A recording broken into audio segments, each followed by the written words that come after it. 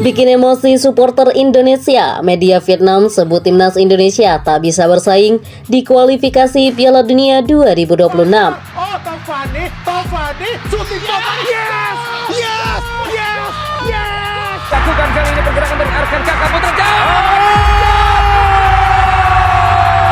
Media Vietnam Soha.vn percaya diri timnas Vietnam mampu bersaing di grup F kualifikasi Piala Dunia 2026. Hal tersebut tak terlepas dari hasil drawing group. Sebagai informasi, timnas Vietnam nantinya bakal bersaing dengan Irak dan Filipina. Sedangkan satu lawan lainnya yakni pemenang antara timnas Indonesia dan Brunei Darussalam. Dalam hal ini, Soha mengasumsikan bahwa timnas Indonesia yang bakal lolos.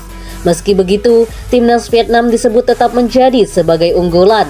Bahkan Soha menilai bila dua wakil Asia Tenggara yaitu Filipina dan Indonesia dapat menjadi lumbung poin bagi timnas Vietnam.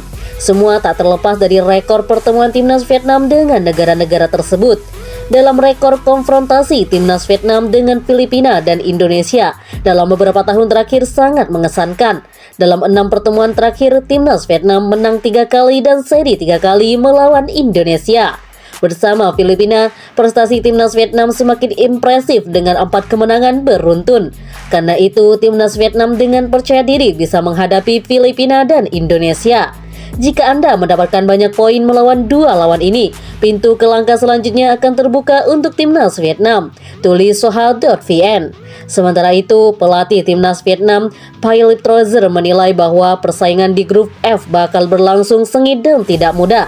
Dalam sepak bola tidak ada pertandingan yang mudah. Saya pikir di grup ini setiap tim memiliki ambisi untuk terus maju sehingga akan sulit bagi timnas Vietnam. Ini adalah kesempatan bagus untuk menunjukkan wajah baru. Kami memiliki waktu tiga bulan untuk mempersiapkan diri menghadapi kualifikasi dan juga memiliki ambisi besar, kata Pilot Trozer.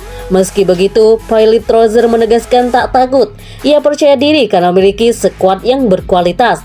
Dalam beberapa bulan mendatang, kami akan aktif mempersiapkan turnamen. Timnas Vietnam tidak takut pada apa pun. Saya percaya diri karena saya memiliki tim yang bagus, tuturnya.